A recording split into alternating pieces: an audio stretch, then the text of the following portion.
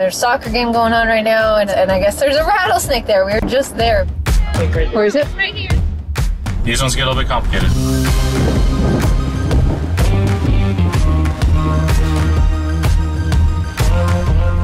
Good afternoon, everybody. This is Nick from down in Tucson, and we just got one of the first good rains of the year.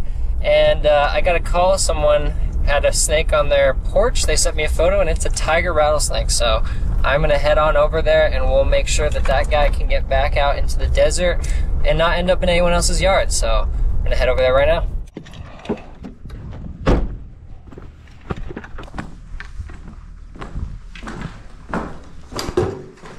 Hello. What's going on? How are How's you? it going? Good. How are you? Doing all right. Good. Pretty excited. It's not every day we get calls for for this species, so it's pretty cool. Is he in the same spot? Same spot. Left side over here. Right. Oh, yep, I see him. Perfect. No, it's all right.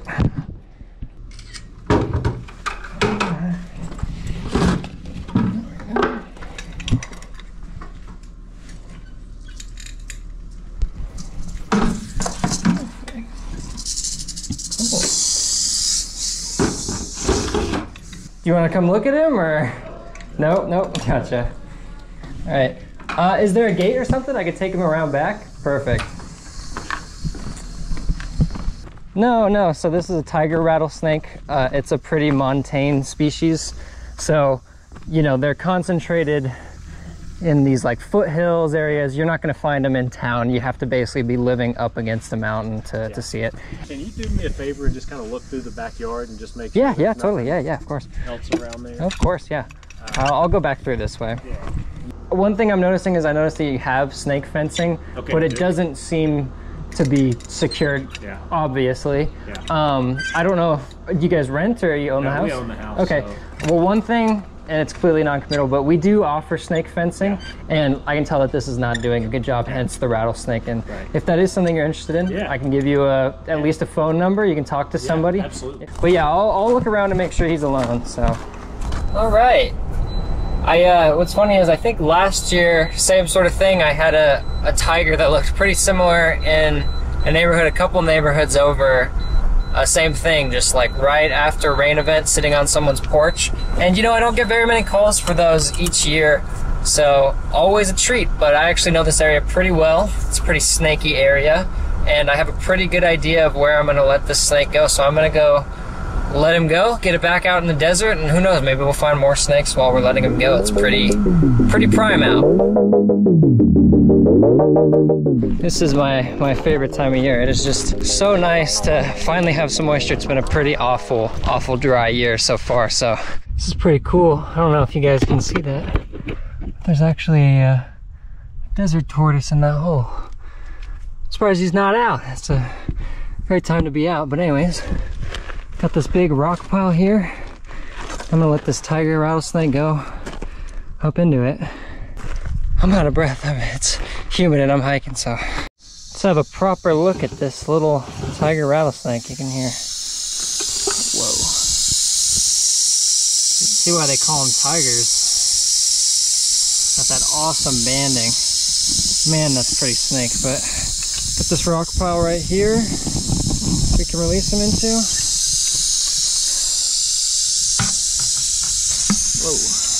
A little, feisty. But I think he'll want to go right up in there. How cool is that? Hi, buddy. Pretty sweet, pretty sweet. Let him do his business.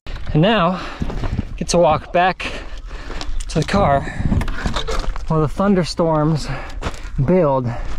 That one's looming a little close, so I'd like to get back to my car before it dumps.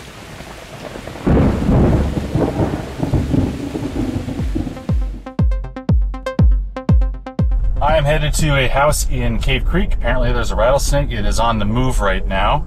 Um, this whole area just got just destroyed by a big storm last night. We had big hail.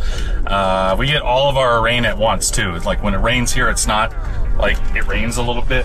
It rains all at once and then it's done. So that means a lot of stuff gets flushed out of hiding places and we get some unpredictable kinds of calls right now. So I'm assuming that is what this is. And I guess I'll find out in about 10 minutes when I get there.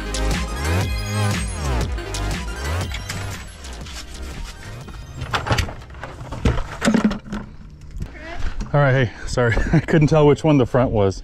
That's the back. Okay. It's right in there. Okay. So- um, Right in this grass. Yes. That's where I last saw it go into. It moved. Okay. There it is. Wait.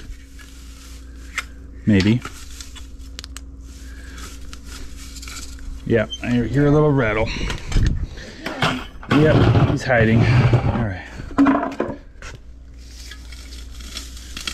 See if we can find it.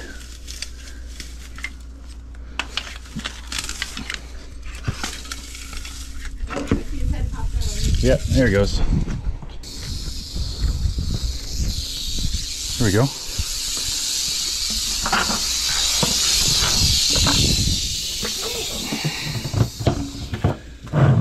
I'm gonna start looking around just to to see. Yeah, it's there's a lot with that storm last night. Everybody's out running around.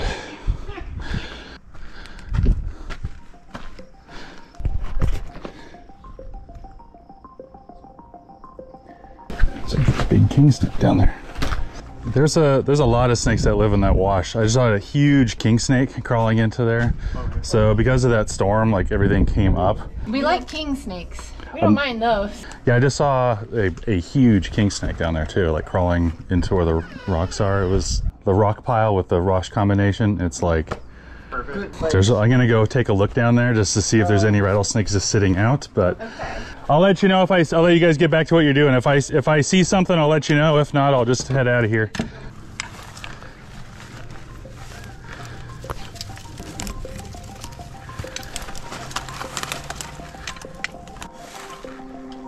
Oh, there's a big one right there.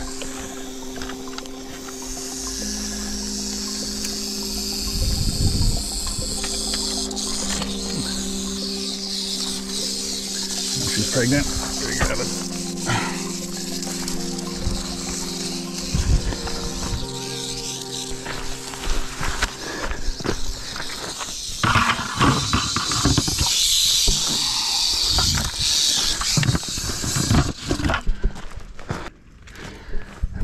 are more. I'm just not able to find them in this.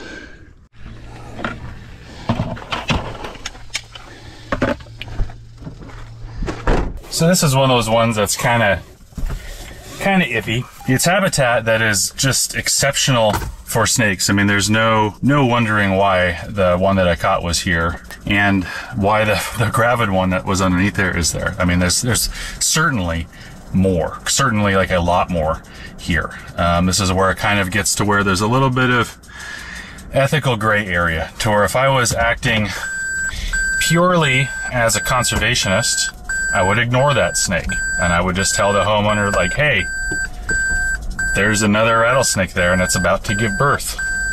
But considering that the reason I'm here is to do a job, that is to move some snakes, and especially since there's apparently some grandkids that are visiting and, and a different situation, uh, it is perfectly reasonable for me to uh, capture that snake as expected that I should and uh, move it safely to another place that it can have its babies. It looks like the kind of situation, you know, there could be there could be 20 rattlesnakes hanging out down there. These ones get a little bit complicated. So I'm gonna go find a spot to release both of these snakes and uh, and then head out of here. Okay, and here we are. I got a wash here that's very deep. Uh, a lot of moisture here, and this back behind this bush is just loaded with caves that these snakes are going to be able to use to hang out safely, give birth, do all this stuff. Oops. Let's go. I might crawl over there. Always releasing directly in the cover too. That's the way to do it.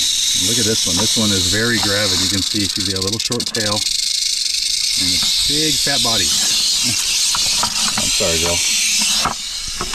She's gonna give birth like imminently. So It's important for her to get to some some cover here. Come on. This is an area that I've seen a lot of rattlesnakes before too, so. Okay, let's go. There you go. Tuck yourself back up in there in one of those caves and everything's gonna be good. See you guys later. Stay out of trouble. Hey everyone, headed to a call down near my house. Uh, headed to like uh, it's a public park. There's soccer fields, there's a dog park, there's pickleball courts. I go there every single day with my dog. I walk him around the soccer fields, and I guess there's a rattlesnake there. We were just there a few hours ago. There's a soccer game going on right now, and uh, one of the moms called me, and there's a rattlesnake there. So I'm just gonna run down there and go grab it for him and get the snake out of there so no one gets hurt. I've seen dead rattlesnakes in the road over here, but the desert nearby is pretty flat and pretty bare, but I think they come to the park for the water. So I'm about to pull up right now.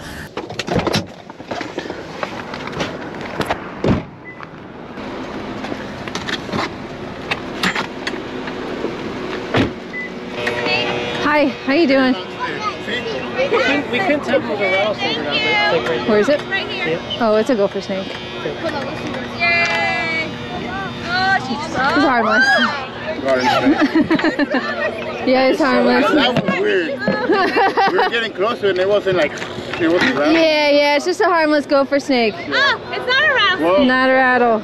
that's a small gopher snake. Can we just, can you just throw that back on like the Yeah, I'll just take him I still across the street. Thank you for coming and getting yeah, you're very welcome. Yeah, Wow. good to have around. He must be here because all these rodent holes. So, yeah, That's awesome. He's like, I got it.